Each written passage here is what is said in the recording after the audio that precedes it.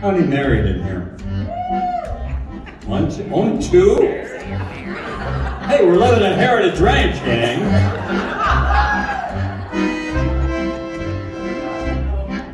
Oh, we got married last Friday. My girl was right there beside me. Our friends were all gone. We were alone, side by side.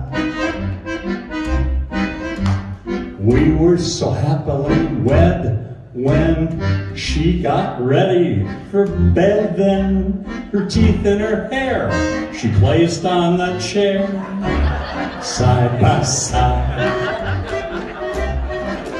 I'll let you laugh a little more. One glass eye was so tiny, one hearing aid so small.